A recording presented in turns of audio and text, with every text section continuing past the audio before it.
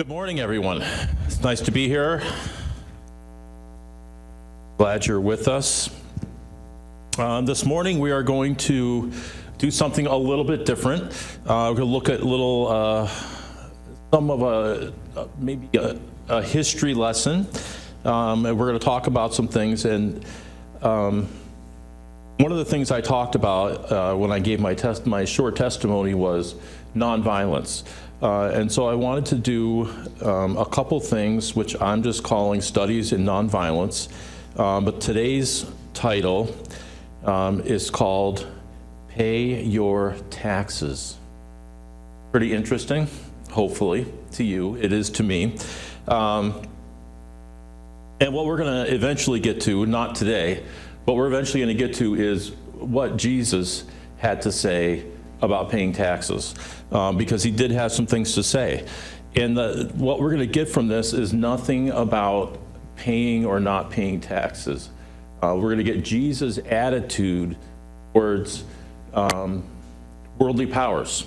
And I think that's uh, really where the studies of nonviolence go to, is what was the attitude that Jesus had, uh, and what was the attitude he had um, concerning his kingdom and the kingdom of his father towards uh, worldly powers, being not just political, but also religious, um, any type of power outside of his kingdom. Um, and so today, uh, before we could get, get to anything about taxes, there was some other things I think that uh, might be said before that um, that have to do with uh, Jesus' attitude towards what was going on around him in Palestine in Rome, because a lot of things were going on, uh, more than uh, we actually get from our scriptures. Uh, a lot of stuff. Uh, many times, I think if we if we read uh, we read the New Testament and the Gospels and what was happening um, around, it's narrowed down to a specific or some specific guidelines of where the, the narration was leading us um, in the story of redemption. Um, and it, uh, I don't want to say it ignored, but it took the things out that weren't necessary for us to get to the story of redemption and what God was doing for mankind. Um, but some of those things that were going on, there are hints of them. And that's what we're going to see today. And the hints of them give us a picture. Um, it, give, it gives me, uh, now that I know what they are, a desire to know more about what was going on and, and why uh, some of the things are in there and some of the things aren't. Um, so we'll have a word of prayer and then we'll get started. Lord, we're thankful that we are here today. Uh, we're thankful for um, the Bible that we have, um, the record that you have given us, uh, and that I believe you've worked to preserve for us uh, for all these years. Uh, and I know you will continue to make sure it's preserved for generations to come. Uh, and we are thankful for that. Uh, thankful for the many uh, helps that go along with it, and for the many men that have and women who have come before us and will come after us and are here now who have shown us great things about your word and the work that you are doing. Uh, and we're thankful for that. And we ask that today, uh, through these uh, messages this morning, uh, right now, and, and at 11, uh, that you would bless our hearts uh, with the things that you have for us, and that you would touch our hearts through the week and keep us close to you as you're always close to us, and, and keep us in your word, your son uh, as we live our, our lives every day. Amen. All right, so pay your taxes. Uh, I to be, uh, first of all, you might be wondering if I'm aiming this at a particular group of people. Uh, and I say partly, but also partly at uh, the rest of, of the world or the rest of the country who thinks you should pay your taxes. There are some people who think you shouldn't. Um, I used to, uh, though I never delved into not doing it, I used to believe that I had strong reservations about should we be paying taxes or not. Is it legal? Do they have the right to take my money? Um, and, you know, thankfully, uh, I'll say thankfully, I never took the leap. My wife, of course, would keep me from doing anyways.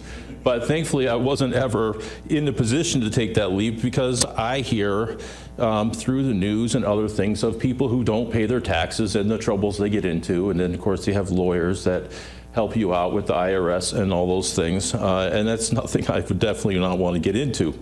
But it's a, uh, for me, it was, a, it was a, maybe a desired form of protest, right?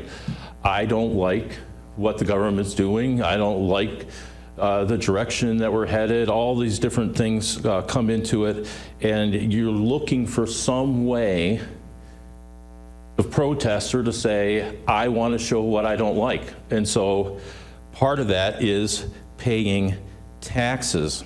Uh, I think paying taxes is a big sticking point no matter what political party you belong to. People don't like to pay a lot of taxes, understandably. You know, you work, you earn money so that you can live, and it, you know, it stinks. Look at your paycheck and say, wow, all that went away. Um, but you know, the question comes to me now what if Jesus was here right now and I asked him, just as he was asked, should I pay my taxes? What would he tell me?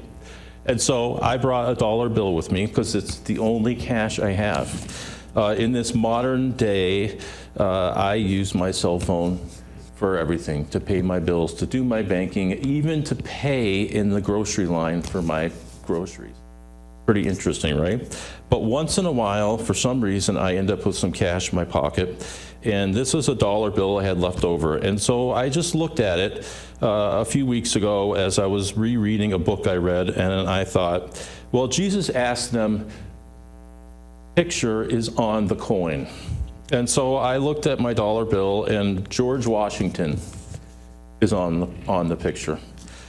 George Washington has long since been dead, so it's definitely not his, but he represents something. United States of America. In the coin that they, which we'll talk about uh, in the next message, the coin that Jesus had or was given had one picture of Caesar. This bill is just littered with things saying, this belongs to the United States of America right? I mean, it's a legal tender, so I have it in my possession, but it doesn't mean anything until I go to spend it. And the only reason it's worth anything is because of the United States of America. Regardless of the economic policies or how much gold they have in Fort Knox or anything like that, they are saying they will back this dollar. Um, and that matters to the banks. And so I think uh, that has a very large bearing of what we're going to talk to and about. And hopefully, by the time we're done, we'll see that uh, uh, many would say, "Oh, yeah, but that was in Palestine way back then, and it doesn't matter today." Um, I think it does matter today. Uh, and I think it matters for the very reasons that Jesus was trying to get across uh, to the folks that were asking him about paying taxes which uh, in the end has nothing to do with money or actually having to pay taxes. Uh, it has to do with something entirely different, uh, which is really cool. Um, so the, the taxing has something to do with zealots. Uh, and the zealots uh, zealotism was very popular in Jesus' day. Uh, and there's a, a, small amount that is talked about uh, in the Gospels about zealots, just a small amount. However, in Palestine, zealotism was very widespread among the Jewish population. And so, how do we find out about that? Well, let's talk a minute about Palestine of Jesus' day. Um, beginning with the time that uh, they were allowed to go back and build the temple and build Jerusalem again. Um, there were large portions uh, of Israel, or we'll say Jewish folks, who stayed out uh, the countries they came from. Uh, and some returned, but out of, uh, as they grew again as a city, never as a nation, they uh, was born out of that were the three groups Pharisees, Sadducees, and Essenes. And these three groups uh, had all different ideas about what Israel should be, what the Jewish people they should be aligned with, um, and what they should be uh, doing as far as worship. Um, attached to these these men uh, and unattached uh, were groups of people who made it their life's work to free uh, Jerusalem from whoever was around controlling it so that they could expand again into a nation. So the time between the testaments um, is where these folks came out of. Uh, we don't have a record of unless you have an apocrypha. Um, if you don't have an apocrypha and you're opposed to getting apocrypha, don't get a Bible with an Apocrypha in it if it bothers you. Just get the Apocrypha because you can buy that as a book. Um, I happen to have it in many of my Bibles. And there are some books called uh, the Maccabees. And if you read those, you get some, some of this information out of there, though it's skewed again to a Jewish writer's uh, thinking. You can also read Josephus, uh, and he will give you. Um, actually a, a, history through the Old Testament and then carrying on from that period uh, right up uh, the time that the Jewish wars happened and Jerusalem was destroyed. But it was anything but a peaceful period uh, in between the Testaments. They were a constant battle or war with somebody or amongst each other. Uh, as uh, the country of Greece, through Alexander, took over the world, um, it really started uh, to become more intense because now they had an empire that they were going to try to fight. And that's what you read about uh, in the Maccabees. And um, they had some success uh, against the Greeks and were able to gain um, some amount of uh, freedom from them. But again, even you'll even read in there, if you read the Maccabees, among each other, they had issues uh, which prevented um, them from going further. Uh, I almost think of uh, uh Braveheart. It's one of my favorite movies, right? The Scottish.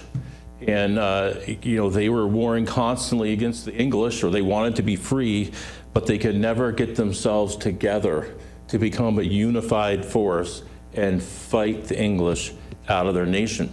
So what happened? They always have been part of uh, under English rule, um, as they are today. In fact, wasn't uh, several years ago they had a big vote over there. Should we separate from the from the UK? And of course, it was turned down. So they still are there now, even though many people are still upset about that. Uh, that's kind of in my mind what I, I picture um, these folks as being.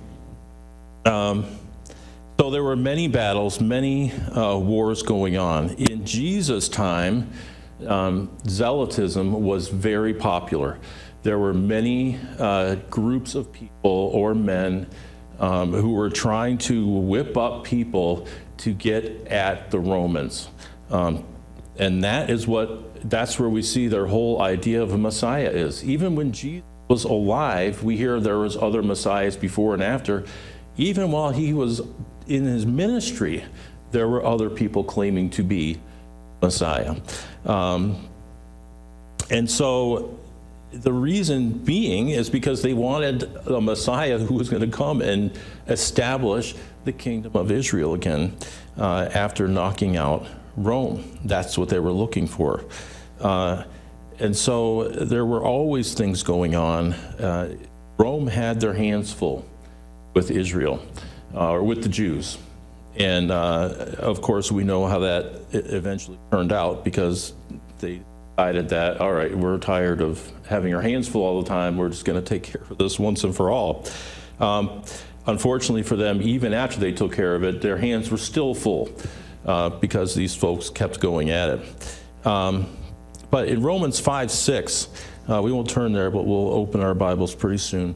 Uh, it says, For while we were still weak, at the right time, Christ died for the ungodly.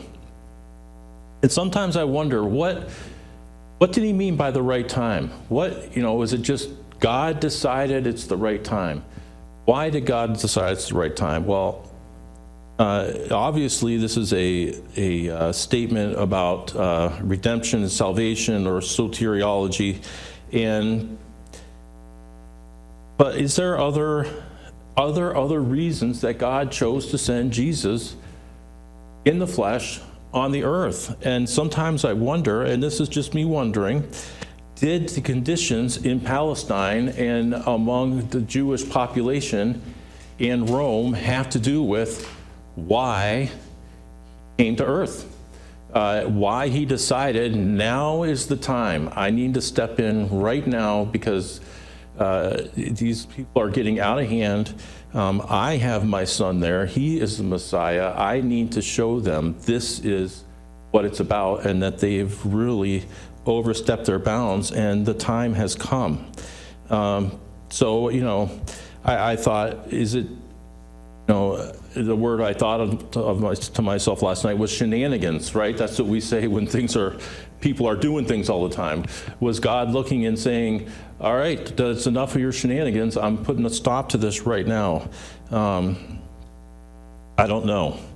Uh, could it have been that there was the knowledge that yes, some people aren't going to leave Jerusalem and a lot of people are going to die because of it, but if I send my son now, uh, and he prophesies and tells them, you know, you'll see when the time is, get out of the city, that enough people will get out or stay out, and there'll be a salvation in that. I don't know.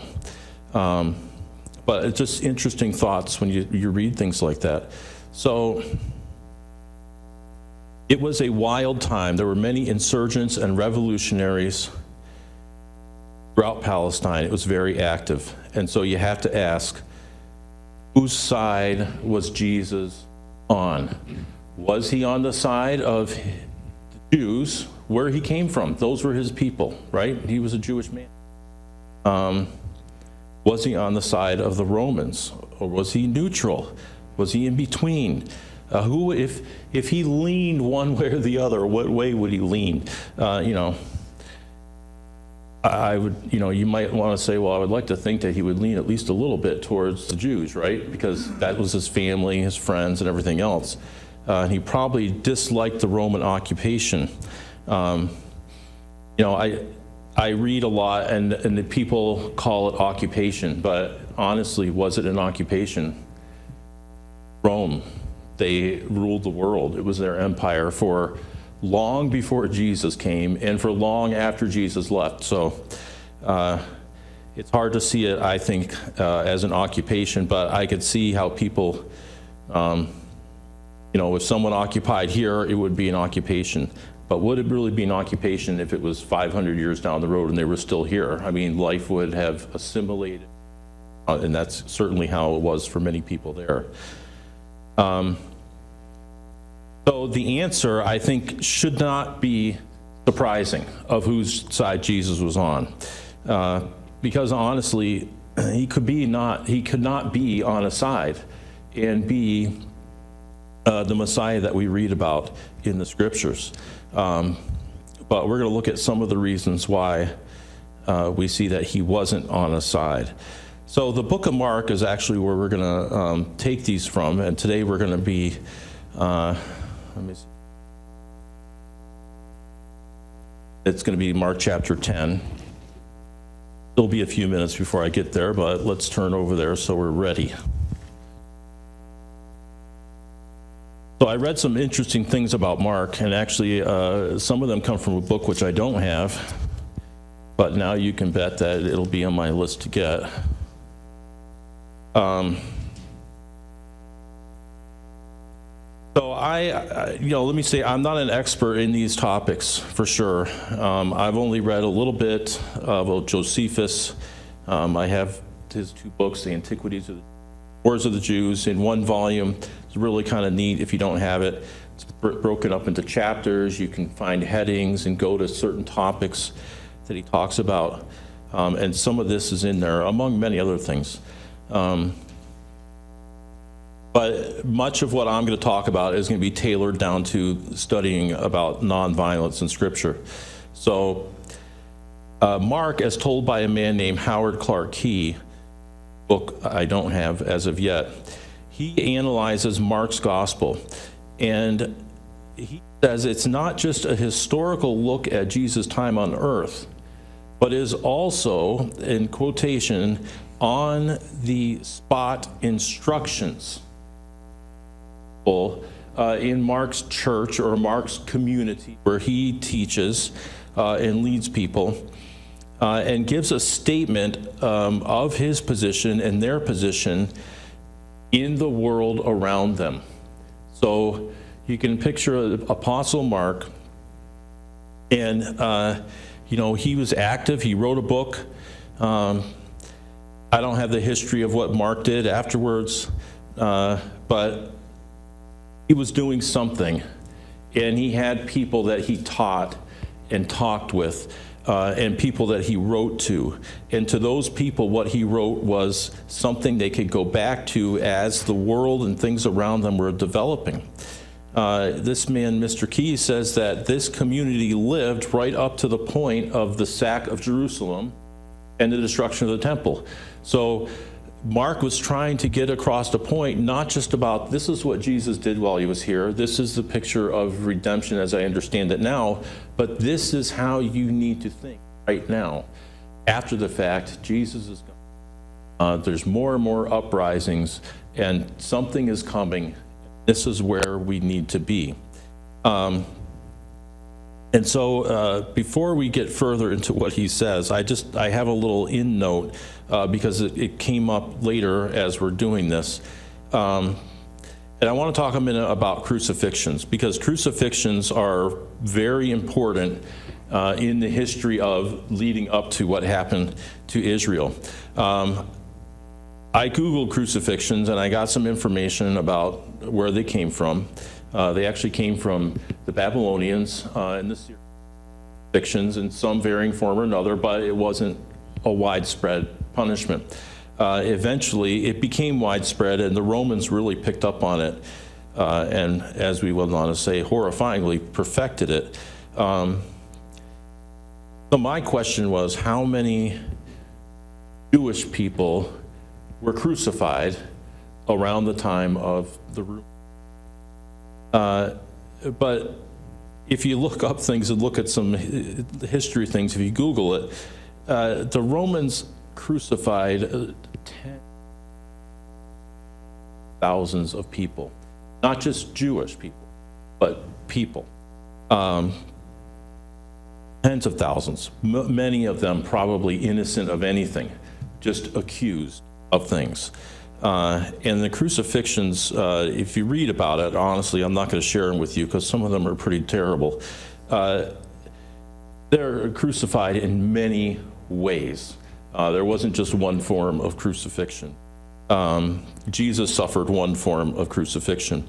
Uh, the carnage and the sack of Jerusalem and the suffering uh, that people went through, and just the picture, if you about it, is horrifying, and it puts uh, Revelation into great perspective to me.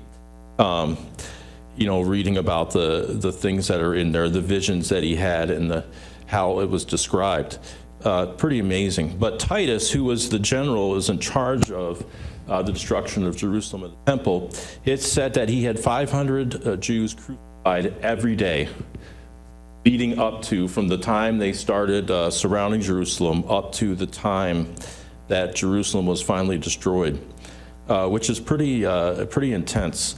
Um, he he tried to keep the crucifixions to the common form of crucifixion, but they also employed other armies besides Romans. Uh, apparently, he had an army of Syrians who really hated the Jews, and they used all kinds of forms of crucifixion that he tried to stop, but he was not able to, so it was just let go. It was said that uh, a crucifixion, when you pulled your cross through the streets as Jesus did, it wasn't a cross. It was a beam that your hands were tied to or nailed to. Um, and when you got to the site, uh, you were lifted up and the beam was placed on what we would picture today as like scaffolding. It was said that around the time of the destruction of Jerusalem, there was so much scaffolding going all over the place. It was like a maze. It was hard to get in and out of, except for the army corridors. Um, and, and one writer said it would be difficult to look and see that there would be room for any other person hung on the cross. Uh, so reading these things, it one thing that I started to wonder about, you know, we read in the scripture that uh, there were three people in Jesus' crucifixion, him and two uh, other men. And some people say, well, there was really six men or nine men or whatever. But I started thinking about it and I thought, well, that's all probably pretty pointless to think about because the, the whole point of having the two men there in the, in the story was to show us something um, about redemption. I think it's likely that Jesus, when he was crucified, was just on the daily execution list. And there were probably many other people being crucified at the same time. Uh, but Jesus was the focus. The other part of that, if you look at it that way, to me, is it puts the crucifixion in a little different perspective. Jesus identifies himself with, you know, hundreds of thousands of people who have been crucified saying, I, you know, we read that crucifixion is a horrible way to die. It was the worst way to die. But he's also saying, I am dying, all of you, the same way you all died. Um, many of them innocent, uh, some guilty, uh, a horrific death. So it's no wonder that there were many people who were subversive and zealots because of the things that were going on and how the fist was down on them, uh, and they're trying to get out. So, how are they supposed to act in light of all these things? Um, and not just with crucifixions, but just in daily life, uh, having to pay taxes and, and all those things. Um, this man, Mr. Kee, I think gives a pretty cool summation of four things, four options that they had. Uh, number one was to collaborate. Now, I'm not going to quote everything he said because it's, it's long, but my two sentences that breaks down his paragraph is, this is the position of the aristocratic elite of the Jews, Jewish leadership. Soak it for all it's worth. Ride the tide of the empire, ride on their coattails, turn in whoever we have to turn in to keep ourselves free so we can, right? Um, you know that was that was one position that they took. The second one uh, in quotations he has assume a more passive form of acquiescence. Um, this was a position of the pharisees. We'll just acquiesce to them not necessarily ride their coattails but we have our own uh, we have our own desires our own goals uh, which is, of course, to line our pockets and keep our power, but not just for themselves, but also for their communities. So they had a little more at stake besides their own personal family or themselves. They also did care for um, the communities that they oversaw. Uh, and so they just were passive towards it. Third one was to go to the desert and withdraw from society.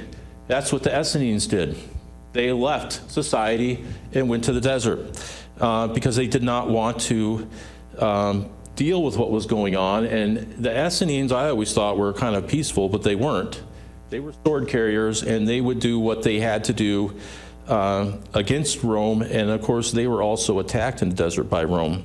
The fourth was to be an insurrectionist, which was the most popular view of Jewish society. Uh, and of course, this played out to see Rome as the obvious victor. As Mr. Eller says in his book, um, which I took some of this from, there was a fifth option which is laid out in the Gospel of Mark. And so we're going to turn to Mark chapter 10 and read verses 35 to 45.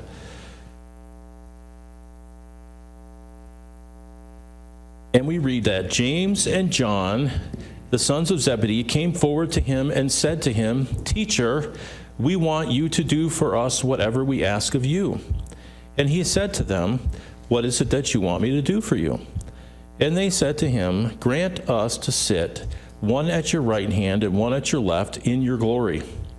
But Jesus said to them, You do not know what you are asking. Are you able to drink from the cup that I drink, or be baptized with the baptism that I am baptized with? They replied, We are able.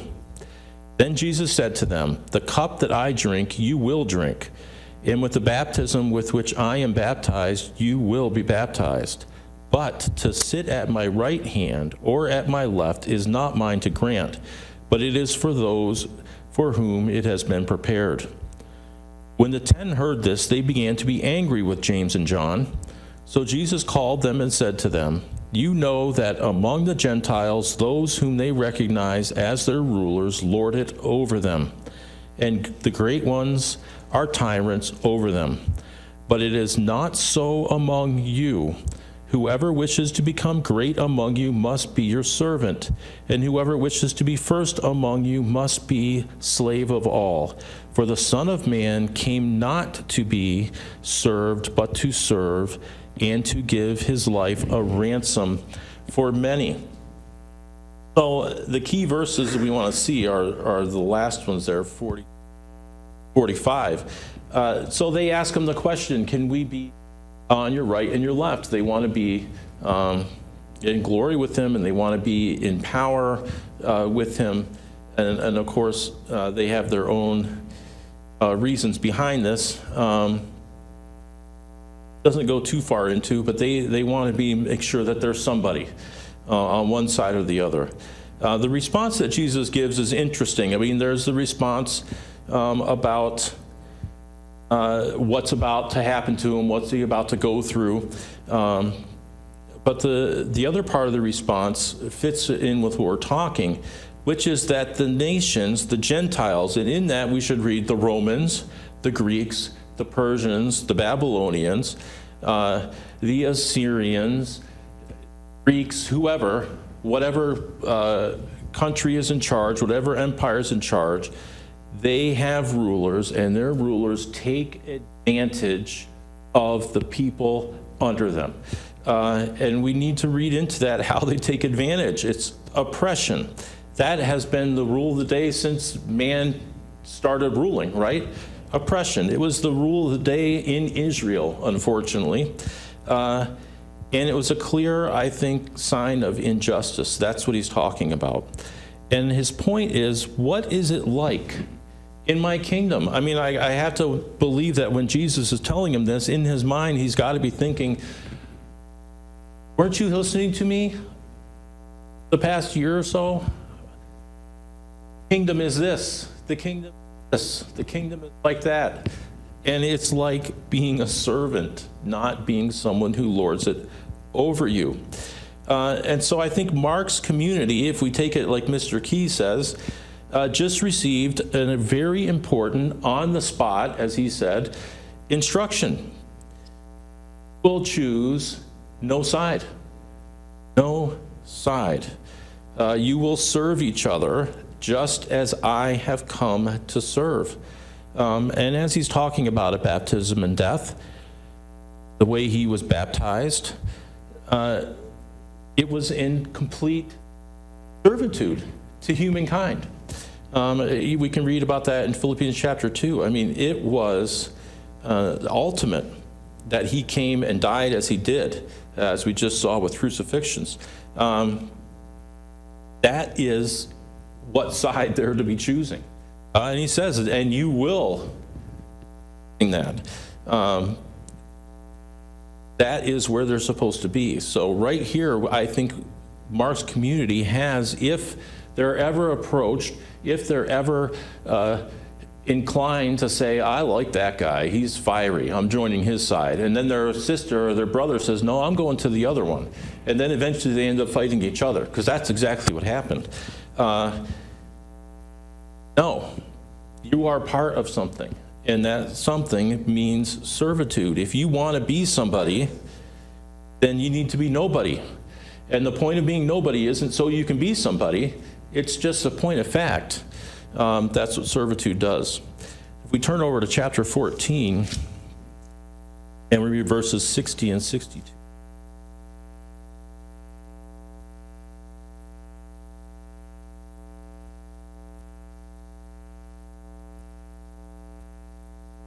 So Jesus here is before the council, and he's being asked many questions uh, and um, accusations against him. In verse 60, it says, Then the high priest stood up before them and asked Jesus, Have you no answer? What is it that they testify against you? But he was silent and did not answer. And then the high priest asked him, Are you the Messiah, the Son of the Blessed One? Jesus said, I am. And you will see the Son of Man seated at the right hand of power and coming with the clouds of heaven. So, really interesting here the perspective when you understand that in Jesus' time there were other people claiming to be the Messiah. But Jesus claimed to be a different kind of Messiah than the other ones. He was the Son of God. When they ask, Are you the Messiah, the Blessed One? Jesus finally answers, Yes, I am the Messiah of God, of God, from his kingdom. I am the king of his kingdom, not a Messiah to free you from, not the Messiah down the road that you all love and the other one that you hate. I'm not choosing this side or that side. He's having accusations thrown at him from people who don't even agree with each other. They're just throwing it out there so they can get rid of him. Uh, and through all these, he sits in silence um, because the power struggles of the Jews not matter to Jesus at all.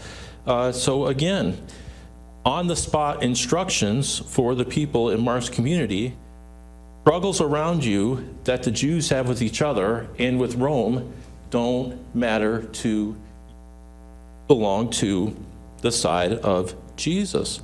Um, there is no side.